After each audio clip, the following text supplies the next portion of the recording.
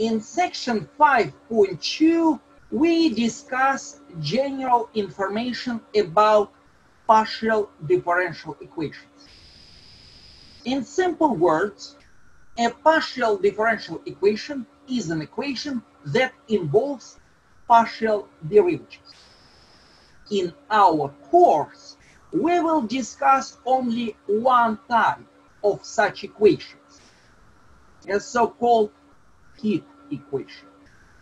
It's exactly what we discussed in section 5.3. Please take a look at the following boundary value problem. Is our partial differential equation and over here we have a bunch of conditions. What is U? U is temperature. U is a function of two variables. T is time. X is position.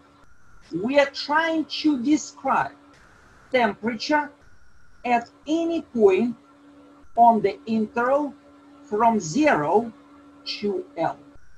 Keeping this in mind, please take a look at condition number one. What do you think? Y of x0 is equal to f of x. What does this mean? Is it saying that when the second variable put into u is zero, it's just a function of x? Yes, but talking about applications, keeping in mind our problem, u is temperature. What does it mean, u of x zero? Temperature is just a function of position. Right, but what does it mean, u of x zero? Initial condition? Initial condition means what? Initial temperature distribution at time zero. Absolutely. Initial temperature. We say initial because T is equal to zero. In simple words, at the very beginning, any point has temperature f of x, where x is position. How do you understand condition number two? Temperature at the boundary is zero. Temperature at the end points is equal to zero no matter what is t. At any point of time, at the end points, temperature is zero. Any questions here? Professor, what is alpha? Alpha is some number. Alpha is a parameter. Okay, in this section, we want to find the solution of the whole boundary value problem. Here's how we do it. Step one, skip the middle condition and consider just the equation, Oh, which is over here, and this, or which is over here. The goal is to find infinitely many solutions of this new boundary value problem. So once again, the difference between this and this is the following. Over here, we do not have the middle condition. We want to find infinitely many solutions of this boundary value problem. Then uh, later, we will combine these solutions in order to create a new solution which satisfies not only this, but also this. This will be step two. Once again, step one, find infinitely many solutions of this boundary value problem. Here is how we do it. Please take a look at this. So once again, u is a function of two variables, x and t. Not any function on two variables can be written as the product of two functions on just one variable. For example, sine of x plus t cannot be written as x of x times t of t. However, it turns out that if we restrict ourselves to only this type of function, it will be easy for us to find infinitely many solutions of this boundary value problem. Here is why. Observe that if u can be written as this product, then the left-hand side, which is partial derivative of u by t, is really easy to find. Let me remind you that when we take partial derivative by t, we think about x as about a constant. Since x is a constant, the whole x of x is a constant. And when we take the derivative, we factor the constant out. Conclusion. Partial derivative of u by t, which is equal to partial derivative of this by t, is equal to x of x, or which is over here, times calculus 1 derivative of t, because t is a function on one variable. Similarly, partial derivative of u by x of order 2 is equal to calculus 1 derivative of x of order 2 because now t is a constant therefore t of t is a constant and we can factor out this constant. Conclusion.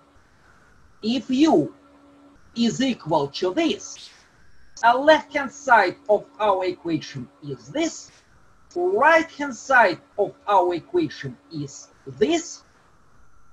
And if you replace this by this and this by this we'll get exactly what is written here. Here is what we do next.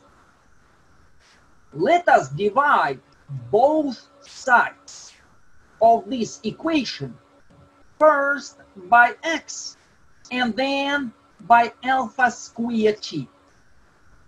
In short, let us divide both sides of this equation by x times alpha squared t.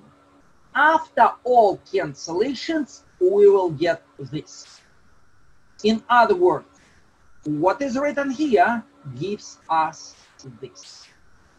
Guys, any questions how we jump from here to here? Professor, Yeah. can you explain again why we're able to just represent this function as a multiple of two different functions? Very good question. Note that at the very beginning, we do not have basically any information about u except for u satisfies this. So we are free to do whatever we want in order to solve this boundary value problem. For example, it turns out, and we will see it in a moment, that if we consider only functions that can be written in this way, we will have enough material to construct infinitely many solutions of this boundary value problem. Does this answer your question? Okay, yeah, yeah. Well, now it's time to take a close look at what is written here. Note that x is a function on one variable, x. Therefore, x prime prime over x is again a function on x. For the same reason, on the right-hand side, we have again a function on just one variable, t. So, on the left-hand side, we have a function on x. On the other side, we have a function on t. In other words, let us denote the left-hand side by, say, capital F, and the right-hand side by capital G. In this case, this equation becomes capital F of x is equal to capital G of t. May I ask a question? If two functions on two different variables are equal, no matter what we plug in instead of x or instead of t, what can you say about graphs of these functions? Anybody? They're constant. They are constant functions. Here is why. Please take a look at this. Imagine that graphs of these functions are same, completely same. They coincide. But graph of the left-hand side function is some curve. Graph of the right-hand side function is same curve. Since variables are different, for left-hand side function, you can plug in one point. For the right-hand side function, you plug in another point. Values will be different. But looking at this, no matter what we plug in to the left-hand side, and no matter what we plug in to the right-hand side, they should be equal. The only way to achieve this is the following. Graphs of both functions should be straight lines. Moreover, horizontal lines. Moreover, both functions should be equal to the same constant. Only in this case, a left-hand side is equal to the right-hand side, no matter what is x or t.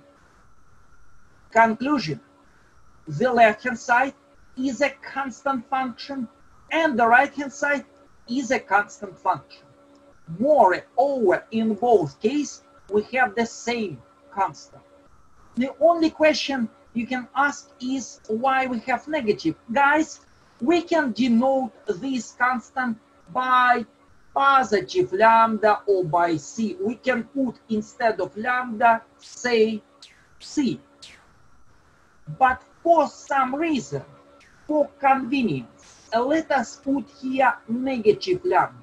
You will see what is the reason for negative lambda a little bit later. Next. So, we start with this differential equation, partial differential equation. We assume that u can be written as this. We come up with the following conclusion. x satisfies this, t satisfies this. Both are differential equations.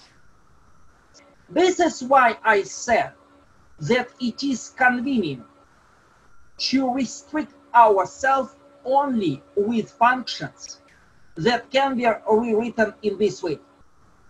We started with a partial differential equation. We came up with two normal differential equations. And we perfectly know how to solve these differential equations.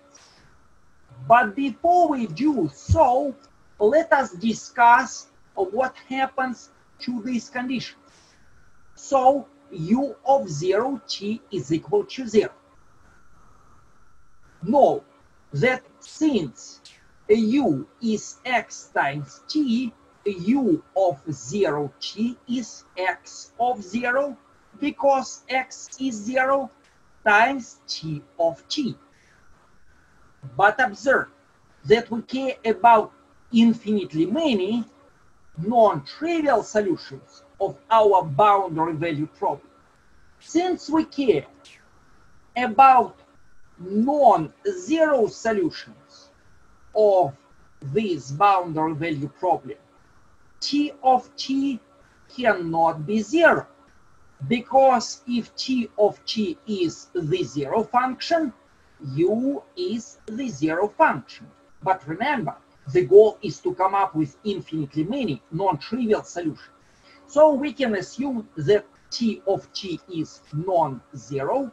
Therefore, we can divide both sides by t of t and we get the following. x of 0 is equal to 0. It's exactly what is written here. For the same reason, we use condition number 2, which becomes x of lt of t. We divide both sides by t of t and we get condition number 2. Lastly, and this is the reason why I said it is convenient to put here minus in front of lambda. If we move x from the denominator to the right and then move negative lambda x back to the left, we will get exactly what is written here. Now, please compare this and this. Is it not the same? It's absolutely same thing. We just replace x by y. This is the reason why we discuss this problem in our course. We just answered the following question. For which lambdas, this boundary value problem has a non-trivial solution. Here is a complete description of such lambdas. It's exactly of what we have here. A lambda is equal to this. We just copy this formula. And then x of x is equal to this. We copy this formula. Done. We came up with a complete description of all x's that satisfy this. Lastly, in order to find a formula for t, move a lambda square t to the right, and then move negative lambda alpha square t to the left. We will get this. What do we see in front of us here? It's first order homogeneous, a linear differential equation with constant coefficient. We perfectly know how to solve it. Either we use the separation of variables method in order to come up with this solution, or we use this formula from section 1.2. Both approaches will give us same result. T is equal to E to negative lambda alpha squared t. But remember what is lambda. Lambda is this. So if in this formula we replace a lambda by this, we will get this. Here is a formula for t. Now let us put pieces together. u is x of x times t of t. For x, we come up with this formula. We have infinitely many functions here because n is any positive integer. And now, since u is x times t, u n is sine of n pi x over l times p. Here we have infinitely many functions that satisfy this boundary value problem. Folks, any questions here? Uh, could you re- repeat from when you said um, lambda equals n squared pi squared over L? Well, uh, what is written here is same as this. And we just discussed that the values of lambda for which this boundary value problem has a non-trivial solutions are n square pi square over L square. It's exactly what is written here. So the xn of x equals sine uh, n pi x over L, that's a general solution? These are formulas for x. These are formulas for t. I say plural because here we have n. And n is any positive integer. And now let us put pieces together. u is x times t. We multiply this by this, we get this. Does this answer your question?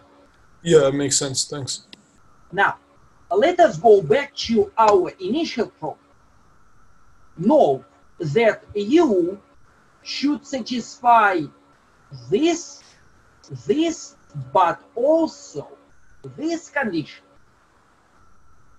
We cannot really expect that for any given function f, our u will be equal to f. For example, imagine that f of x is 1. Obviously, what is written here is not equal to 1. So what do we do? Here's an important observation.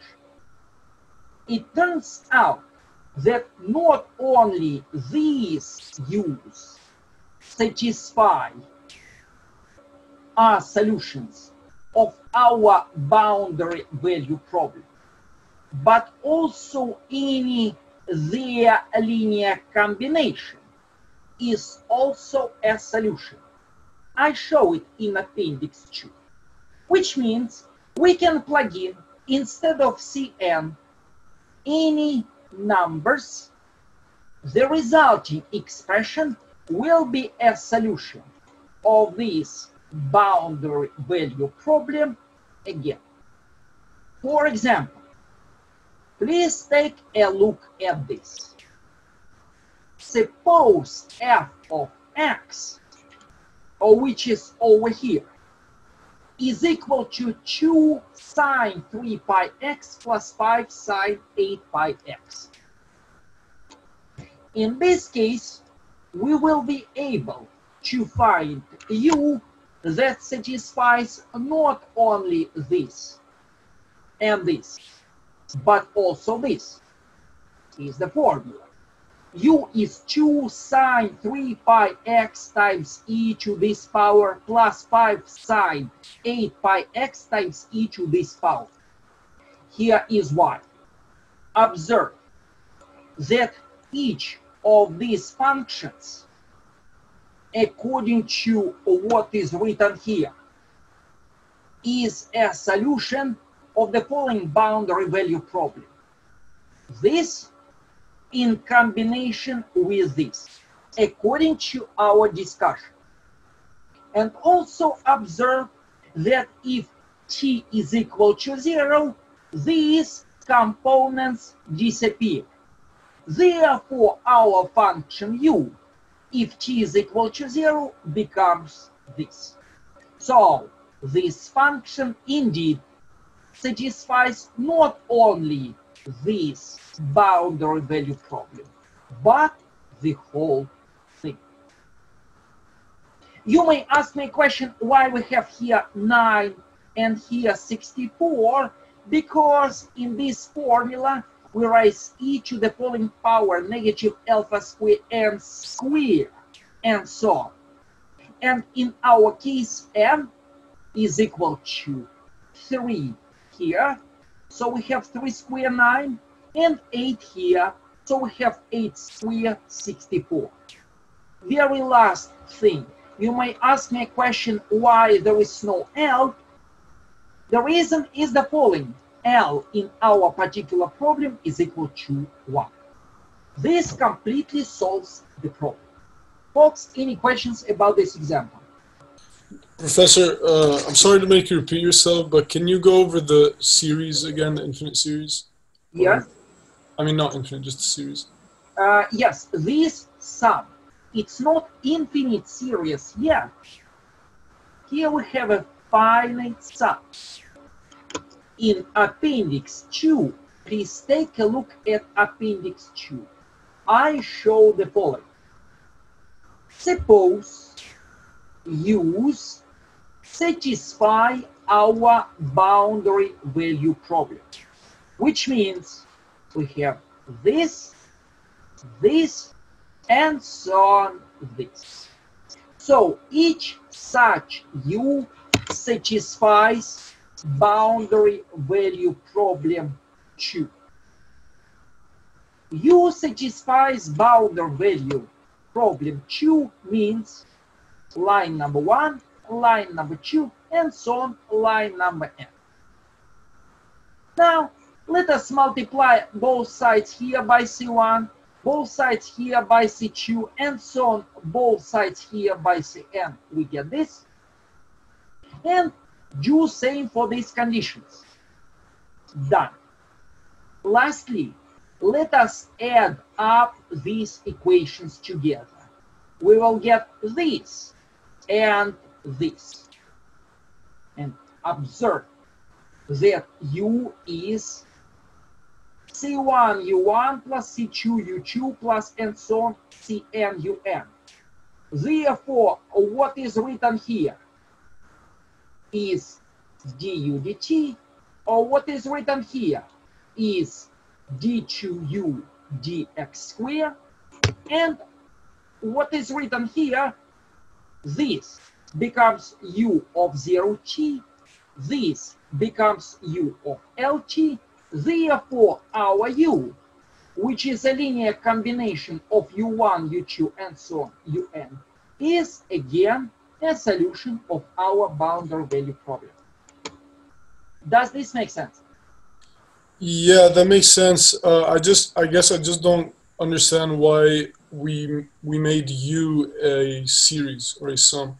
Because these U's, the U's that we just found, satisfy this. But we cannot really expect that these U's will satisfy also the middle condition. Look, imagine that f of x is equal to 1. Obviously, this is not equal to 1, correct? Yes. But the goal is to find the solution of the whole thing. So what do we do? Step one, observe that not only this, but the whole thing, any linear combination of this function satisfies boundary value problem 2. And now we have more degrees of freedom because no matter what we plug in instead of these C's, the whole thing is a solution of this. Therefore, in some cases, it is possible to find C1, C2, and so on, Cn, such that this is equal to this. It's exactly what happened in this example. C3 is 2 because here n is equal to 3. C8 is 5. All other c's are equal to 0. This function satisfies the differential equation and these two conditions, and obviously this function satisfies the middle condition because this component and this component disappear. What do you think? Yeah, uh, that answers my question.